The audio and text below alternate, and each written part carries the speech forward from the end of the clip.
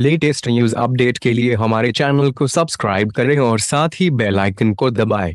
Corona virus महामारी से जारी संकट के बीच कारोबारियों और नागरिकों को कर्ज भुगतान में राहत देने के लिए भारतीय रिज़र्व बैंक ने बैंकों से तीन महीने ईएमआई नहीं वसूलने का आग्रह किया था भारतीय state bank bank of Baroda HDFC समेत कई बैंकों ने सभी तरह के लोन की किस्तों में तीन माह की रोक लगाने के बारे में ज़रूरी निर्देश देना शुरू कर दिए हैं और अपने ग्राहकों को एक मार्च से 31 मई तक कर्ज की ईएमआई वसूलने में राहत देनी शुरू कर दी है, लेकिन सवाल ये है कि अगर ग्राहक इस सुविधा का लाभ लेते हैं तो इससे उनकी ई पर कितना बोझ पड़ेगा?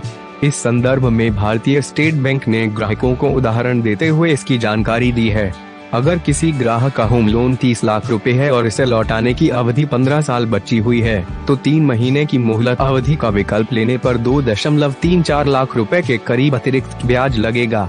यह ब्याज आठ ई के बराबर है। अगली स्लाइड में जानते हैं छह लाख के वाहन लोन पर कितना असर पड़ेगा।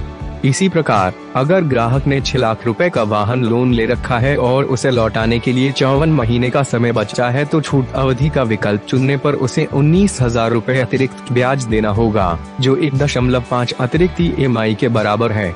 मालूम हो कि लोन की अवधि तीन महीने तक बढ़ने के बाद भी इन तीन महीने के दौरान लगने वाला ब्याज वसूला जाएगा। आगे की ईएमआई के साथ ब्याज जोड़ दिया जाएगा। वहीं पुराने बकाये का भुगतान नहीं टाला जाएगा और भुगतान न करने पर पेनल्टी लगेगी। साथ ही आपको बता दें कि अगर आप तीन महीने किस्त न चुकाने का विकल्प चुनते हैं तो आपके क्रेडिट स्कोर पर नकारात्मक असर नहीं पड़ेगा। अगर आप 1 मार्च 2020 से 31 मई 2020 के बीच टर्म लोन की किस्त स्थगित करना चाहते हैं तो इसके लिए आपको बैंक को सूचित करना होगा।